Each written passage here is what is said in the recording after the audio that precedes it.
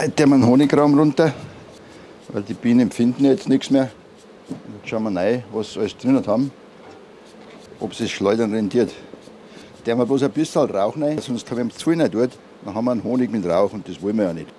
Also mit Stockmeißel muss man das da lösen, das Rähmchen, Honigraum, weil die haben den, mit dem Propolis alles verkittet und das klebt ja sonst drinnen.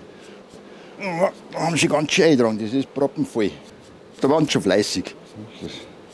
Beidseitig, ganz. Und die Bienen, die kehren wir jetzt runter. Der man, darf man nicht so kehren, weil sonst tut man es wurzeln. Da gehen sie kaputt, man, man tut so stupsen. Sind natürlich jetzt nicht erfreut, dass man einen eingetragenen Honig wegnimmt. Und der da rein. Dann machen wir gleich einen Deckel drauf, sonst fliegen wieder alle zurück zu einem Honig. Und so machen wir jetzt das Rähmchen für Rähmchen.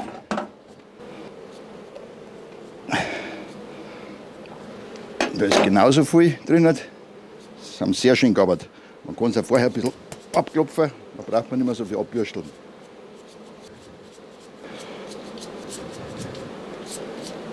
Ja, voll. Das werden schon, ja, zwei Eimer werden es hundertprozentig, wenn wir schleudern.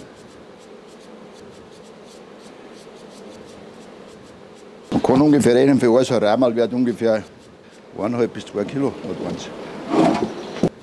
Also es gibt ungefähr 17 Kilo werden schon rausgehen. Die Bienen haben jetzt dann Honig eingetragen. Und wenn das alles okay ist, dann werden sie nicht verdeckeln.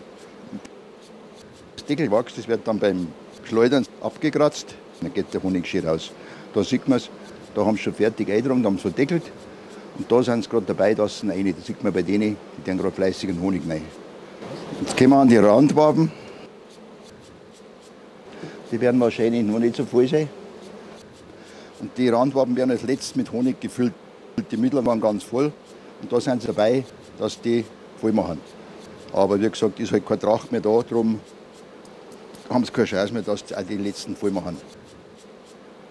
Der Abspeck gibt es auch noch drin. Wenn jetzt das geschleudert sind, dann ist noch Resthonig drin. Dann bringen die her und hängen es wieder drauf. Dann lasse ich sie ausschlecken. Die machen das, halt die Putz, jeden Honigrest raus und dann das aus alles sauber putzen. Dann hat man nächstes Jahr ganz einen sauberen, ganz saubere Honigrämchen wieder. Und die freuen sich, dass sie noch ein bisschen Honig kriegen von dem, was sie eingetragen haben.